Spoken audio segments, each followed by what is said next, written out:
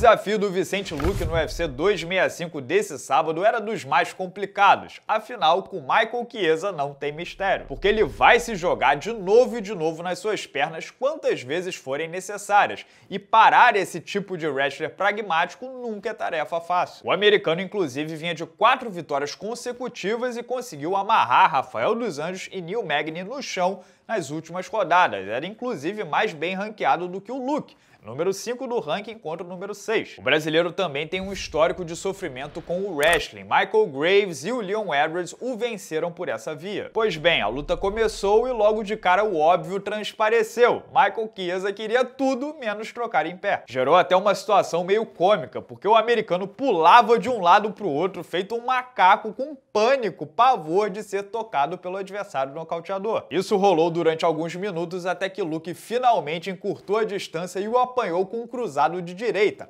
Pronto, knockdown e sinal vermelho aceso. Três segundos depois, o Chiesa se jogou nas pernas do Luke e assegurou a primeira queda da luta. Só que aí entra a jogada de mestre. 11 das 18 vitórias do Chiesa na carreira foram por finalização. A maioria dessas tudo mata-leão, o cara de fato pega muito bem as costas. E isso acontece geralmente porque os adversários quedados tentam levantar no desespero e acabam oferecendo as costas. O que o Luke fez? Exatamente isso, levantou dando as costas. A diferença é que ele estava preparado. Na entrevista pós-luta, Luke tratou de ressaltar que treinou demais a defesa das costas em Brasília, na Cerrado MMA. E o que acontece quando você defende bem as costas e evita os ataques do adversário? Você tem a oportunidade de girar e ficar por cima. Chiesa tentou dois matalhões, mas em ângulos inapropriados, porque o Luke estava sempre meio de lado. Quando o brasileiro girou, o Chiesa ainda tentou sair no braço, mas também não teve sucesso. Aí entra o instinto do wrestler. No wrestling não existe ficar ficar de costas para o chão, fazendo guarda que nem no jiu-jitsu. Lá, dois ombros no chão é pin, fim de luta. Então os caras tentam se levantar como se tivesse lava no chão. É a natureza deles. E foi nesse momento em que o Chiesa caiu na especialidade da casa. Ele estava de joelhos tentando se levantar quando o Luke encaixou o triângulo de mão invertido. Para vocês terem uma ideia, o brasileiro tem oito vitórias por finalização no MMA. Seis são triângulos de mão. Dois deles, inclusive, saíram nas lutas mais importantes da sua vida, na última rodada contra o ex-campeão Tyron Woodley e hoje contra o Michael Chiesa, ambos no primeiro round. Eu lancei aqui no canal há um mês um vídeo apontando o Luke como a maior esperança de medalha de ouro para o Brasil no UFC considerando lutadores abaixo dos 30 anos. E o retrospecto é o seguinte: 29 aninhos e 10 vitórias nas últimas 11 lutas. Nos últimos 6 anos ou 16 lutas, apenas o Stephen Wonderboy Thompson e o Leon Edwards o venceram. Só que a impressão que fica é que o Luke ainda está em franco crescimento, ainda tem bastante margem pela frente. Agora ele assume a quinta posição no ranking e tem a seu favor o fato de ser um raro desafio inédito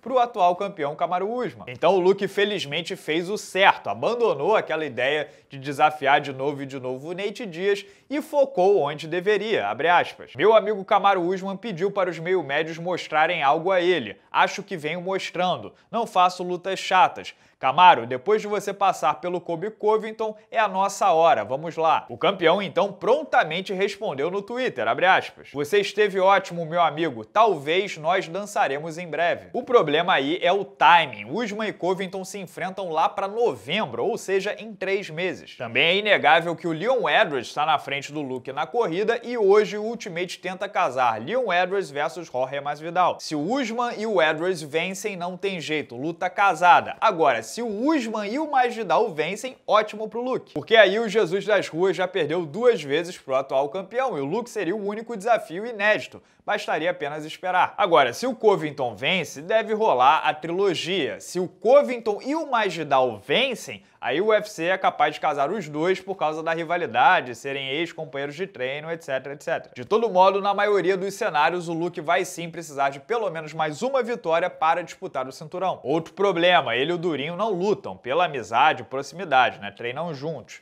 É, ele e o Thompson lutaram recentemente. Também é meio sacanagem botar o cara de quase 40 anos vindo de derrota, né, contra um cara vindo de tantas vitórias consecutivas. Sinceramente, não sei o que fazer. Talvez a melhor opção seja esperar o desenrolar dessas lutas aí, ou até tentar ser o reserva, o substituto na luta pelo cinturão. vai que acontece alguma coisa e sobra para ele. De todo modo, o Vicente Luque avança em grande estilo. O cara é igualmente perigoso em pé e no chão e pode muito bem virar o primeiro brasileiro a vestir o cinturão da categoria até 77 quilos. E como sempre, pessoal, isso são apenas os meus dois centavos, o meu ponto de vista. O que vocês acharam da atuação do Vicente Luque contra o Michael Chiesa? Comentem livremente aqui embaixo no vídeo, se inscrevam no canal para não perder nenhuma resenha, para concorrer às nossas camisas, participar do nosso conteúdo, ter acesso a material exclusivo e principalmente ajudar o sexto round a crescer, considere virar membro clicando no botão Seja Membro Azul aqui embaixo. Ah, pessoal, e desse mesmo UFC 265 rolaram mais duas resenhas. Falei sobre Cyril Gane versus Derek Lewis e José Aldo versus Pedrinho Munhoz. Os links vão aparecer aqui do lado assim que eles estiverem disponíveis.